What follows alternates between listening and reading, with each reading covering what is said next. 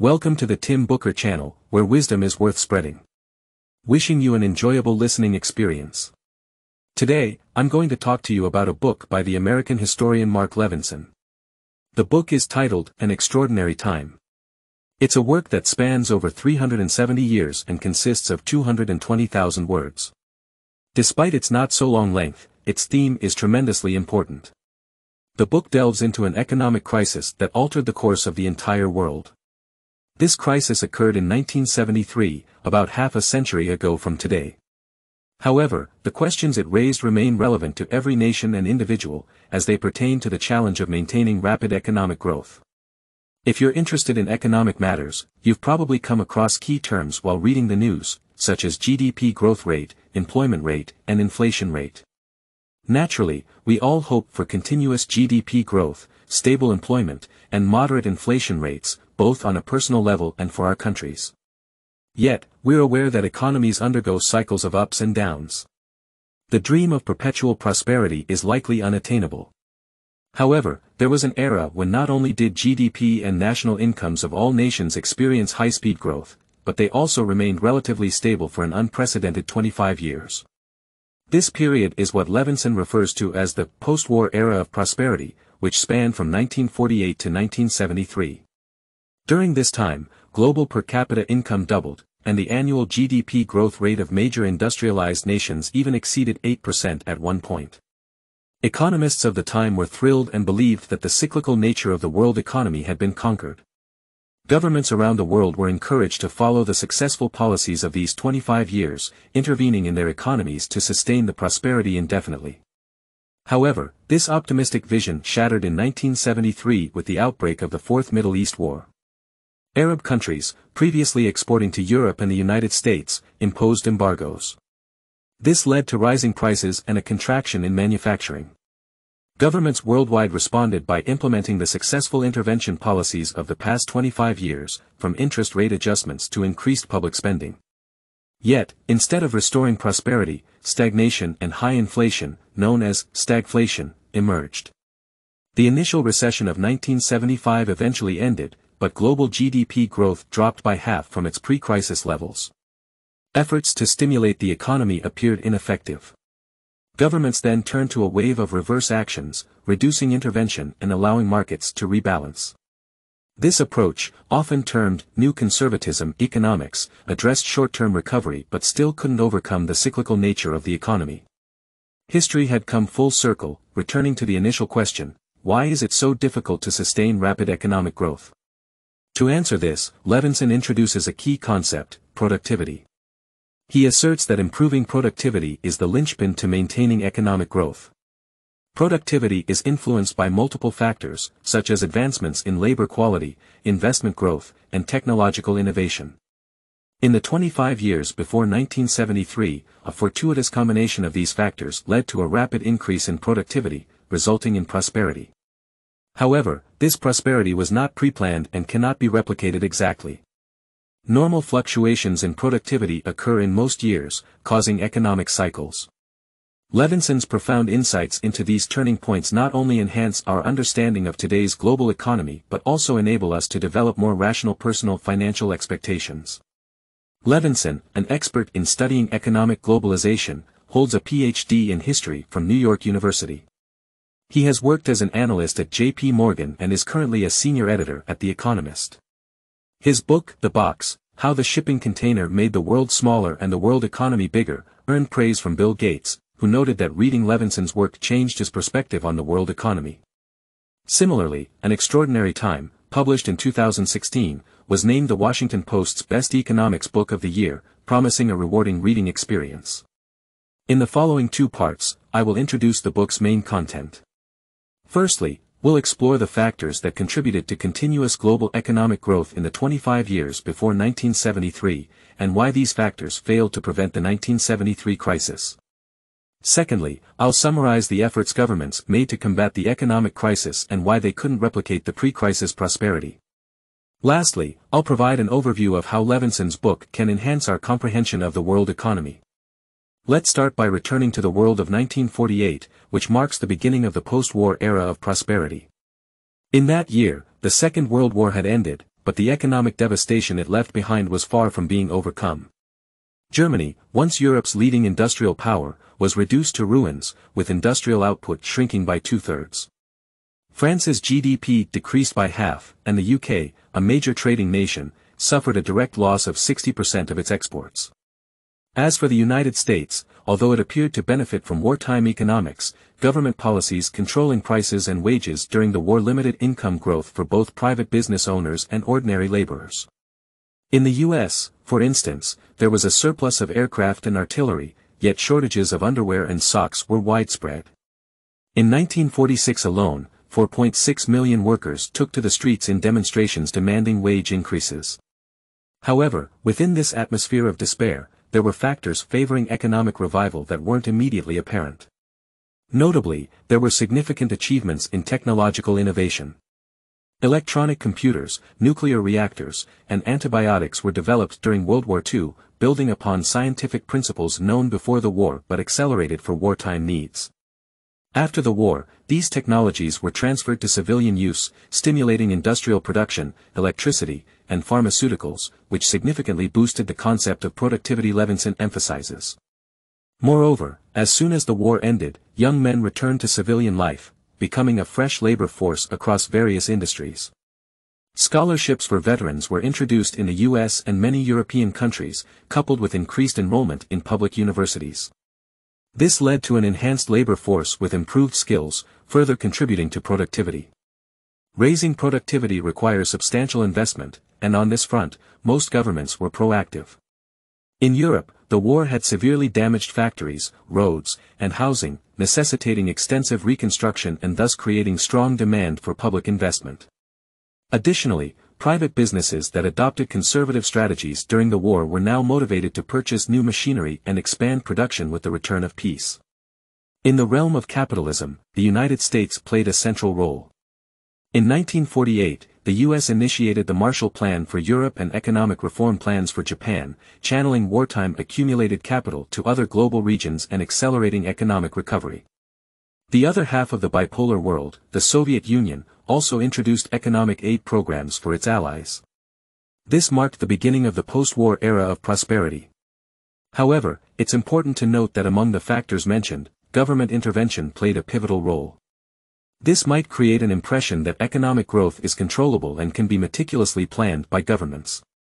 However, Levinson points out that post-war economic prosperity also depended on fortuitous factors.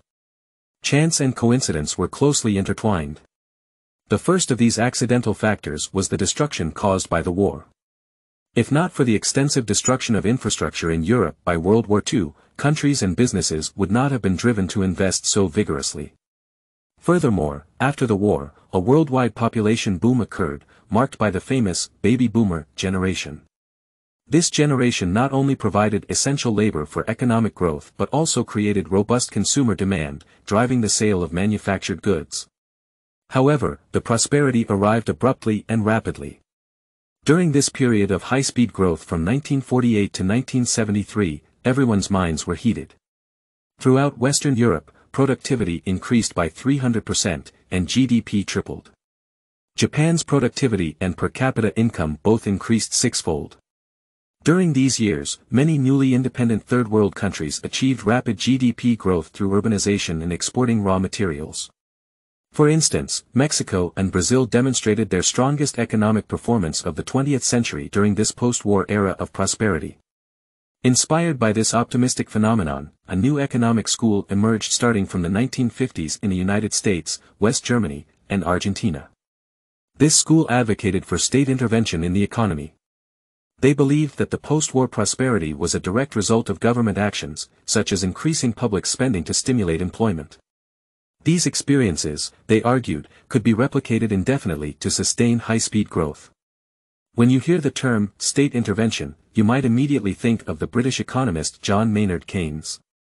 Keynes believed that governments could counteract the effects of economic cycles by actively adjusting fiscal and monetary policies to improve employment and income conditions for the public. However, the new economic school was even more radical than Keynes. They likened the national economy to an engine, and the government as the operator of this machine. When the machine operated smoothly, key variables like employment rate, GDP growth rate, and inflation rate would be displayed on the screen. Each variable had an optimal solution. The government only needed to monitor these variables and adjust any deviations from their optimal solutions to keep the machine running smoothly. Harold Heller, the chief economic advisor to U.S. President Kennedy, once stated that with the help of electronic computers and mathematical models, they could predict the optimal state of the U.S. economy. Karl Schiller, the economic minister of West Germany, even calculated precise figures for each optimal variable.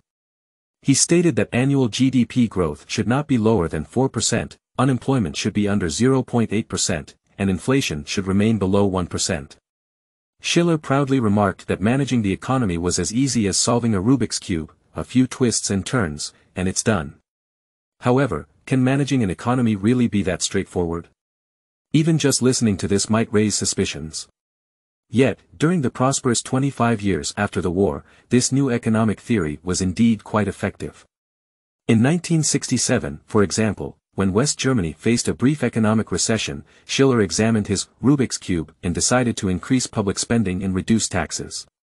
As a result, the recession ended in less than six months. A similar situation occurred in the United States.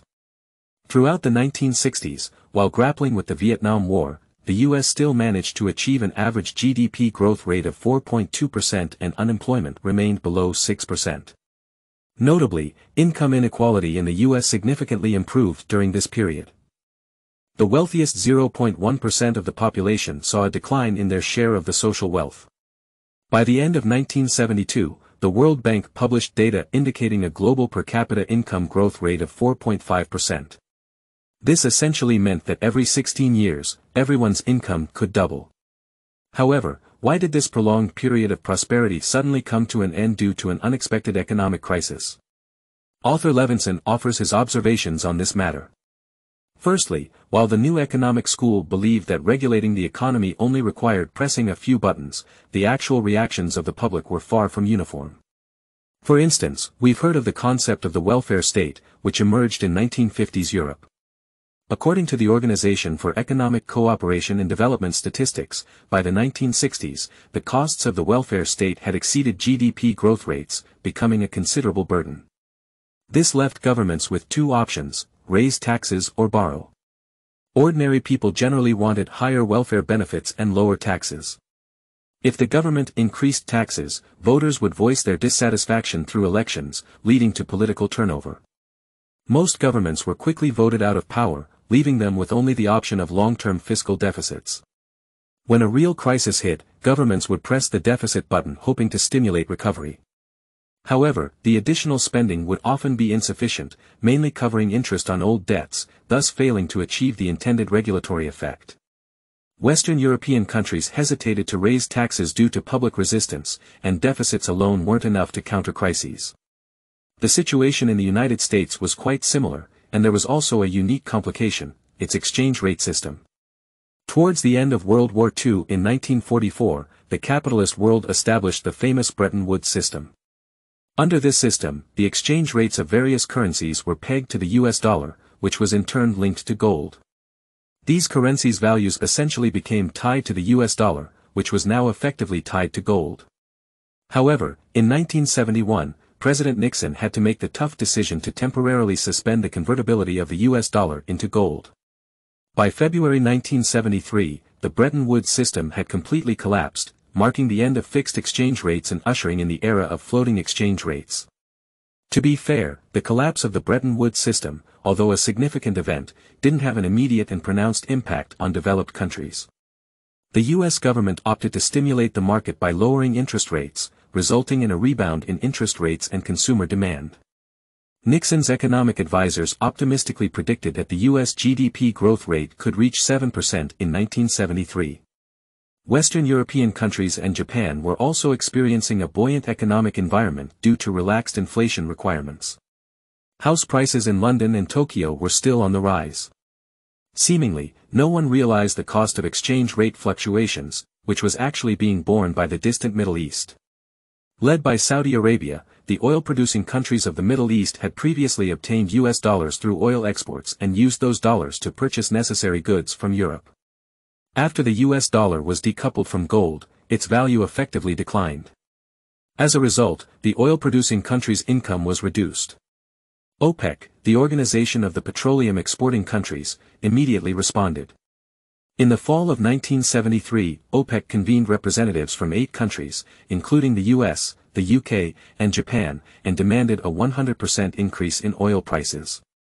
However, the Nixon administration firmly rejected this demand. This was the last warning before the economic crisis erupted. In this same year, 1973, the relationship between the oil-producing countries of the Middle East and the Western world was undergoing change. In October 1973, the Fourth Arab-Israeli War broke out. The United States openly declared support for Israel, which put it at odds with the Arab world. In response, OPEC member countries, primarily Arab nations, immediately decided to impose an oil embargo on the United States, Japan, and Western Europe, which lasted for three months. During those three months, the U.S. GDP shrank by 6%, gas stations displayed signs of being sold out, and numerous factories were forced to halt production.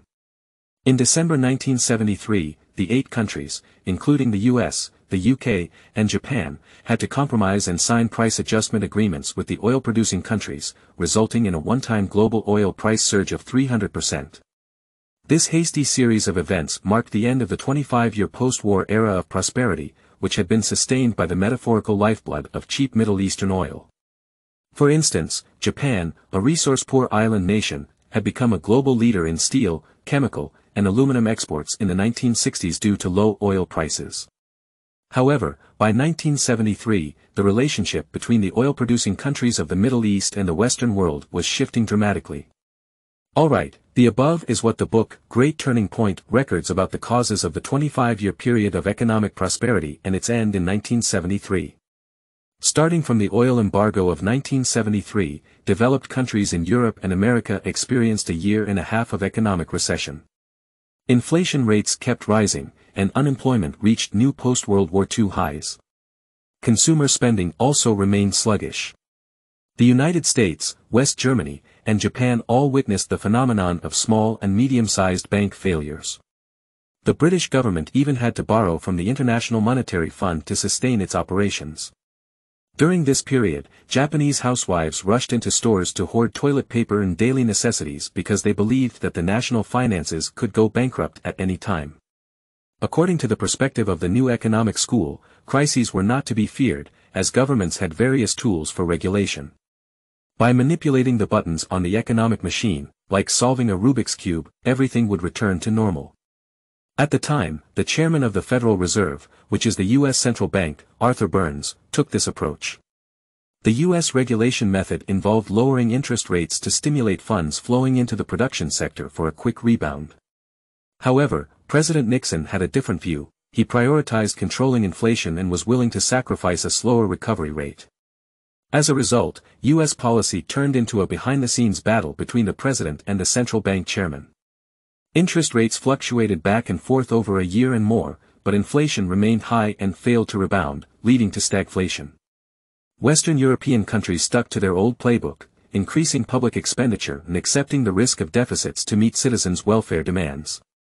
For example, in Sweden, state-owned enterprises and government departments doubled their workforce and signed generous agreements with labor unions. However, this exacerbated the economic burden. As a result of rising oil prices, industries like shipbuilding and shipping lost competitiveness and failed to recover. The economic growth formula that worked in the past seemed to fail completely in the face of the crisis of 1973. Levinson, the author, believed that the key factor was the developed country's productivity, which had entered a stagnant phase. The most crucial factor affecting productivity is technological innovation, and the research outcomes around the World War II era had been absorbed over two to three decades, causing developed countries' industrial products to lose their technical advantage. Their export growth began to slow down. Additionally, the second factor influencing productivity was the workforce. Due to widespread welfare policies and high wages, blue-collar workers in developed countries had significantly higher labor costs than other regions, and the skill differences were not necessarily significant. This caused investors to move factories out of the US and Western Europe to areas with lower wage standards. The rise of the Asian tigers, as we know them, emerged against this backdrop. Developed countries lost jobs, but welfare expenditures remained substantial, dragging down economic growth. In recent years, we frequently hear about trade wars in the news, as if it's something new.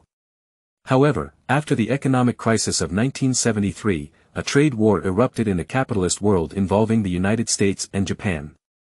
In the 1960s, Japan's exports mainly consisted of imitation products, chemicals, and small appliances. These industries were heavily affected during the 1973 economic crisis. To reverse the downturn, the Japanese government decided to upgrade industries and shifted focus to automobile manufacturing and electronics. Coincidentally, with the sharp increase in global oil prices, fuel-efficient Japanese cars gained an opportunity to enter North American and Western European markets. From 1973 to 1980, Japan's annual car exports tripled, and one in every four cars sold in the U.S. market was from Japan. However, the U.S. automobile industry was defeated by its competitors.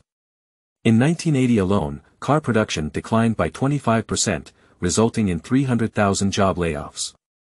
To protect local jobs, the U.S. government proactively initiated a trade war against Japan, imposing a 15% tariff on screws and nuts from Japan in 1979. In 1981, the Reagan administration compelled Japan to accept automobile export quotas. Within three years, the total number of cars exported to the U.S. could not exceed 1.68 million units. According to estimates by the U.S. International Trade Commission, this decision saved 44,000 jobs in U.S. manufacturing. However, fewer Japanese cars didn't necessarily mean consumers would switch to buying American cars. People preferred fuel-efficient Japanese cars even if the prices were higher. Consequently, to protect 44,000 jobs, U.S. car buyers ended up paying an extra $8.5 billion. On average, this cost amounted to $193,000 per job saved, which is six times the average salary. Such a high-cost trade war couldn't be sustained indefinitely. Inflation remained persistently high, growth was unstable, and the trade war had limited impact. By the mid-1980s, the Reagan administration had exhausted most of its regulatory tools, yet the U.S. economy hadn't achieved a high growth rate. At this point, the president decided to change strategy.